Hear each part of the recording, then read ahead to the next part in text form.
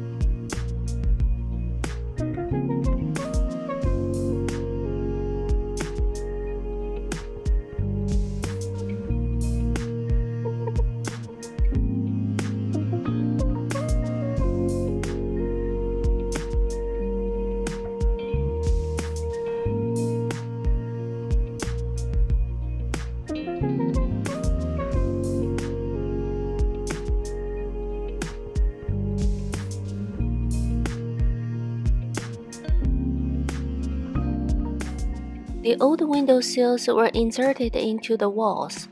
That made the removal process extremely difficult, but I did it anyway.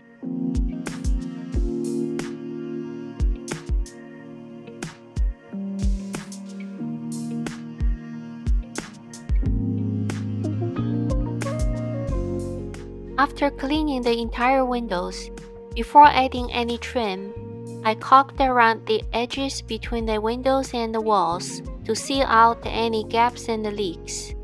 I also did the same thing with the outside windows by using exterior caulk.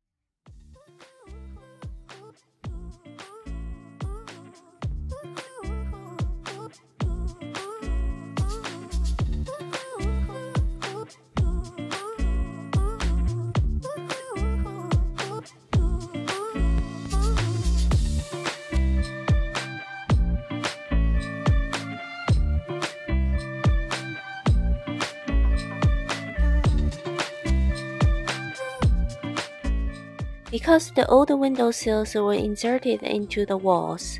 So now I have to fill the gaps with the small drywall pieces.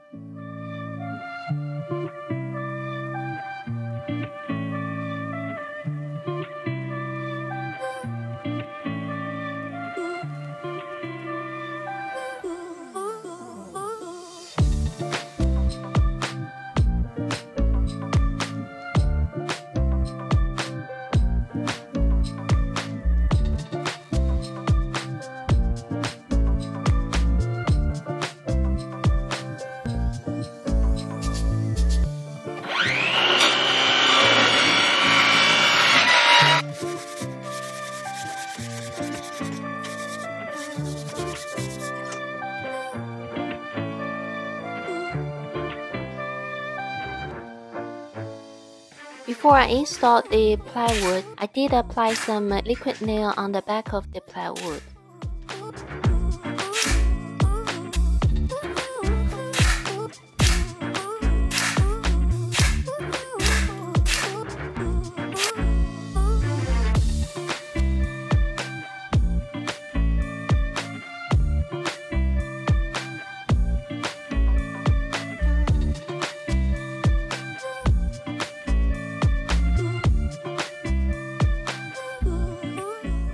Just like many of the older houses, these windows are not in standard sizes.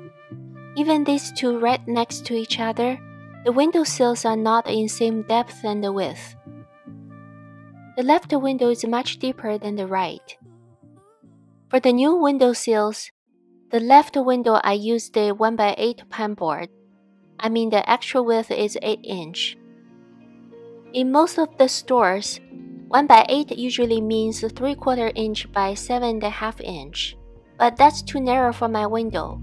And the next size is 3 quarter inch by 9.5 inch, and that would be too wide. So I did some research and found one local lumber yard. It's a small yard with really nice people there. I bought couple pieces of 1 by 12 then they used their table saw and cut the exact sizes I needed out of these 1x12s.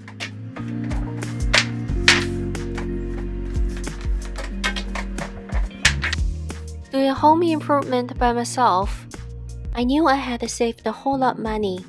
So after each project, I would treat myself for a couple of pieces of better tools to make my future projects better and easier. For this new year, I treated myself a miter saw and a jigsaw. Both were something I wanted for a long time. So this would be the first time for me to use them. And that means if I can do it, you can too. For the length, I extended out about three and a half inches past the window wall frame on the left side. The right side, I just used the exact measurement.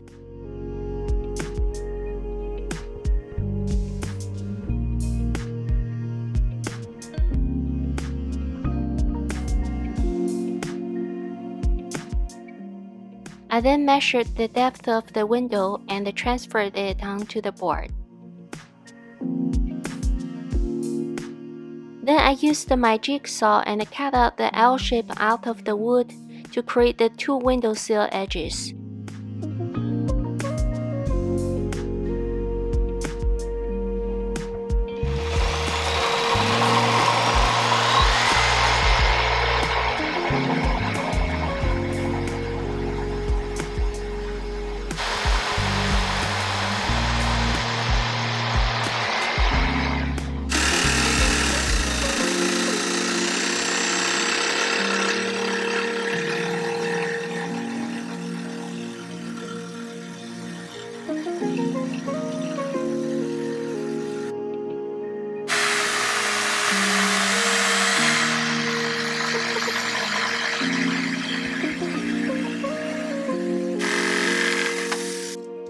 Then put the new window sills in place and uh, make sure they fit and uh, leveled.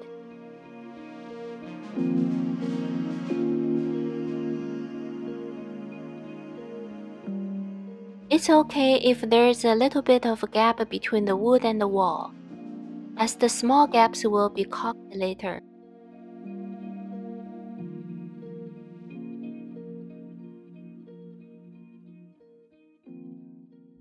For the right windowsill, I used the 6-inch board, 2 inches narrower than the left windowsill.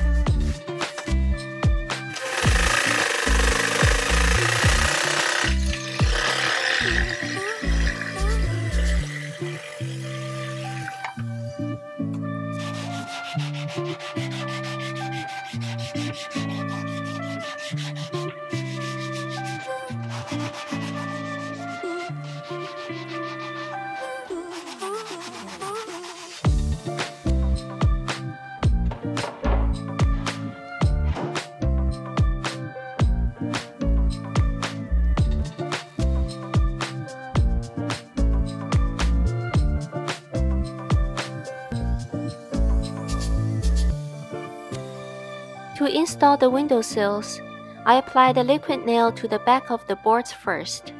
then installed them to the window with the nail gun.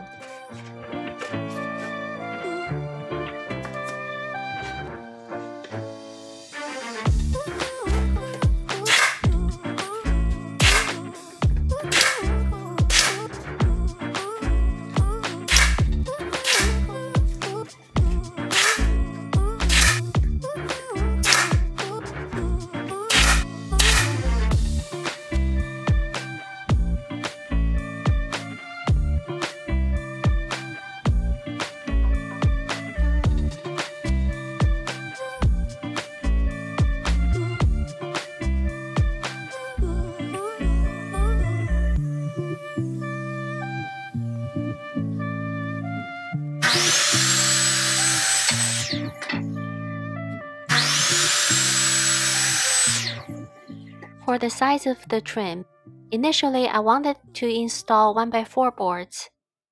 However, the joint walls between two windows were only 3 inches in width.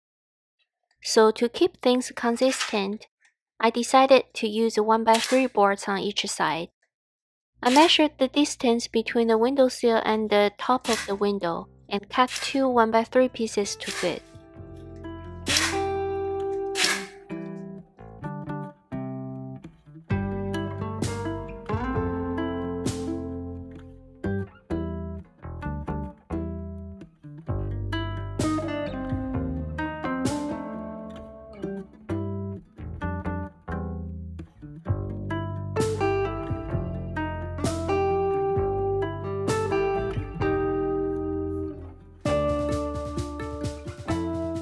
Next, I added a piece of 1x2 on top of the set trim with a half inch overhang on the left side. And for the right side, I just used the exact measurement.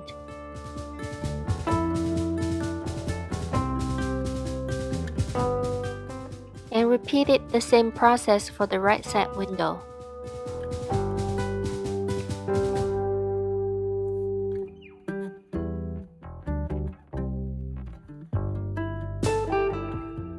Put a piece of 1x4 on top of 1x2. The length was a half inch shorter than the 1x2 underneath.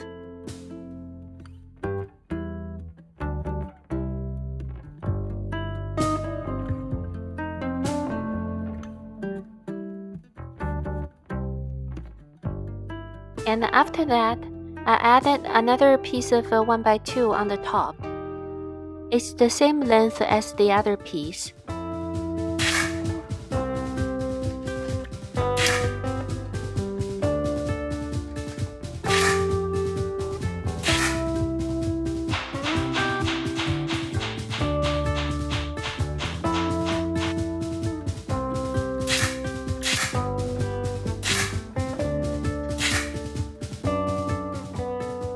Last step for the header, I added a piece of a 1x3 on top of a 1x2 with a half inch overhang.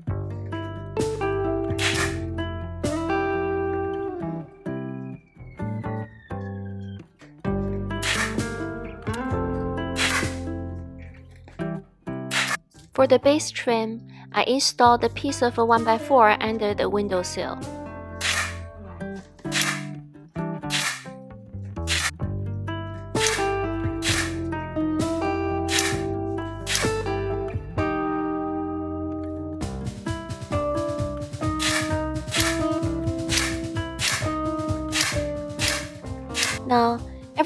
Looks good, except this corner. As the walls are not straight, which is very common for the older houses. On the left side, the windowsill is not deep enough to cover the base trim. It could be hidden by the curtain, but it just bothered me that I had to figure out how to fix this to make it look seamlessly. As I was going to add a French window trim, like I did with the other windows in my last video. I had this 1 by quarter inch pen trim on hand, so I cut one piece to the length I needed and attached it to the edge of the windowsill. It worked out perfectly.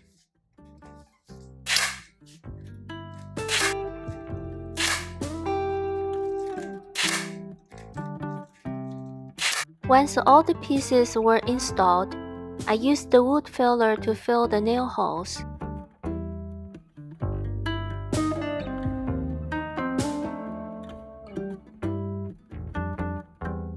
Use the paintable caulk to seal all of the joints and any gaps between the walls and the trim.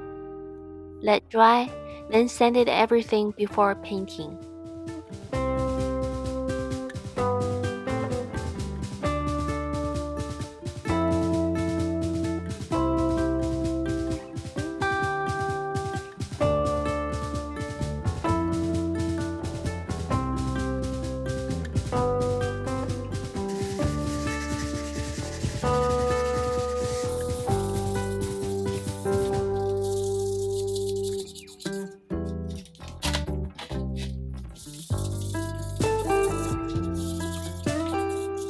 Applied one coat of primer on the raw wood so it would take paint more evenly, and uh, the wood grain and knots wouldn't bleed through.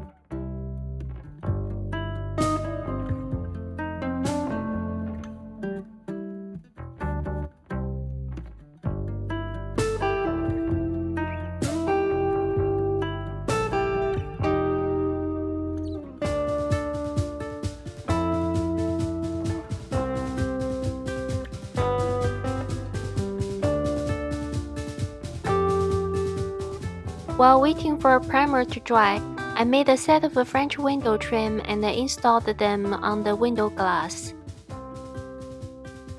It's the same process as my last video showed. If you haven't seen that video and want to learn how, I'll link that video in the description box below. Just check it out.